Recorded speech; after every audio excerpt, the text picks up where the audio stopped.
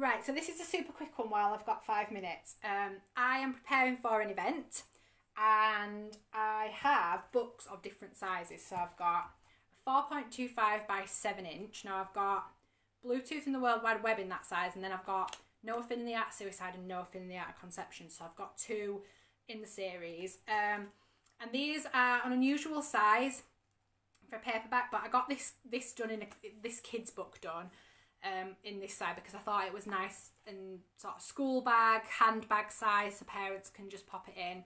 Um, and I prefer this size to be honest for this particular book. And then I've got the Noah Finn books in that because they are novellas and not novels. So obviously, I want I didn't want a tall, thin um, A5 when I could have had a, a slightly thicker, nicer looking, smaller one. So I got them now on the run up to the events. I've got I've got these, and these are a 50 pack of A6 self seal bags, and these were two quid from the works. Now I got these because when somebody buys a book from me, I like I think presentation is a really important thing, especially when it's a signed copy um, or a gift. So when um, when somebody buys from me, hopefully at the weekend, oh no, that's a problem.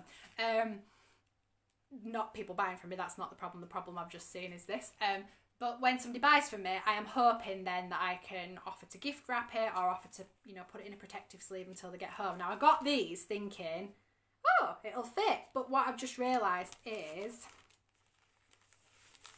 that whilst it does fit, it won't close. It sticks out at the top. So what um, think I'll have to do is use those as the gift bags for the gift little gifts, the little extra sets. So um, the I don't think I've got a bookmark to hand, which is unusual for me because I have bookmarks scattered all over the place.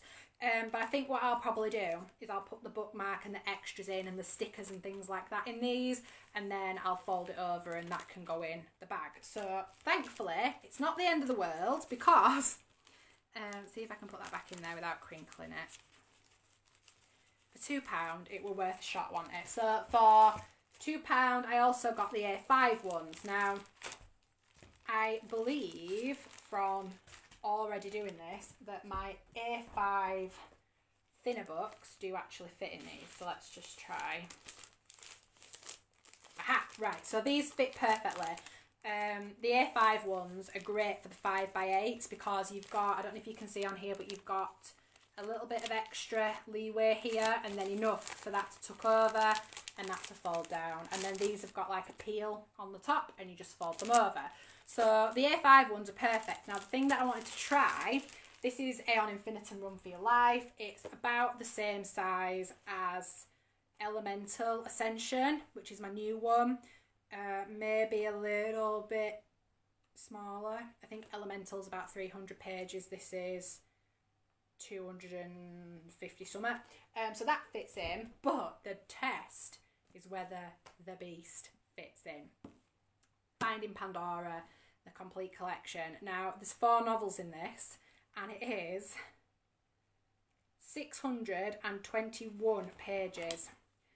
So the test will be size wise, width wise, it will fit, but because it's such a thick book, I don't think that's going to fit. I think I'm going to struggle. But, oh, maybe not. It's a beast. It's a beast, but it does. Now, see if I stick that, that's going to ruin the pages. So the problem with that is it's too thick for that to fold and stick to what's left on here, which is not very much because of the thickness of the book. So what I'm going to have to do is when I fold that down and pull it over, rather than use the peely sticky thing, is I'll just pop one of my Curious Cat Books logo stickers on to hold it, or I will fold it at the edges there. I'll pop a sticker on the top and a little bit of washi tape or something. I've got some cat washi tape so they do fit. It will protect a book, as in, you know, to get it home without getting it scratched or anything. But for a, a gift or whatever, it might not look great, which is a shame. But I have some bigger ones upstairs that um, in my office that I think will fit, but they are meant for comic books, so they're actually for A4, so they'll be too big. But if I put all of the extra goodies in with it, it will look more like a gift set than it would just a protective cover. So I think I'll probably do that for Pandora. But yeah, that was my thinking anyway, because I like the I like the idea that when you purchase something from the author, you don't just get it signed and then sort of thrown at you. No, thanks, right? Yeah, enjoy. I'd rather it be a discussion. You know, what do you like to read while I'm signing? Who am I signing it for? You know, would you like some extra goodies with it? And then the idea is that they get it signed and personalised. They get the signed by the author sticker on the front. Um, and then it goes in the protective bag. It gets sealed a sticker goes on it, you know, like a thank you sticker or whatever, and then they get some little goodies and then they get a little gift bag to put it in to take it away with.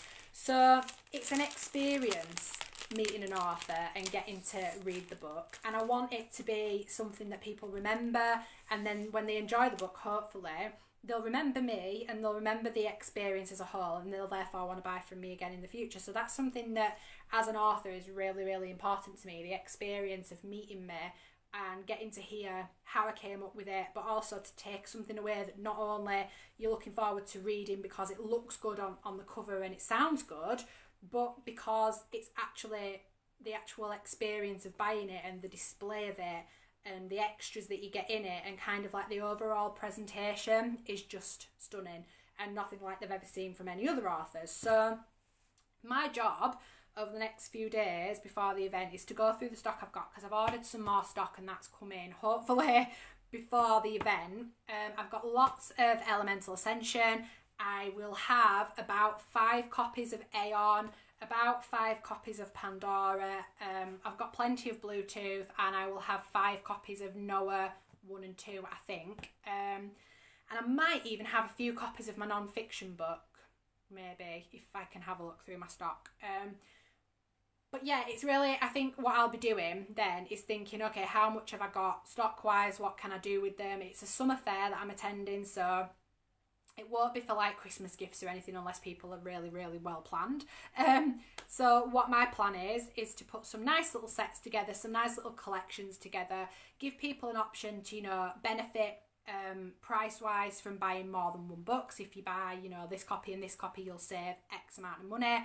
If you buy this series, you'll get you know X discount or whatever. Um, and then just try and sort of meet people's needs that way as well. So if you're going to come and see me this weekend, um, I will be at the Snoop Summer Fair.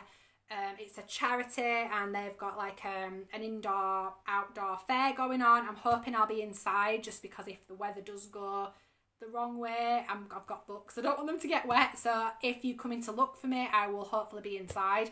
Um, and yeah, come and speak to me about what you like to read. I'd love to meet you and hear all about your favourite books. And hopefully, if you've not yet read anything of mine or if you're looking for the newest one, I'll be able to sort you out with that as well.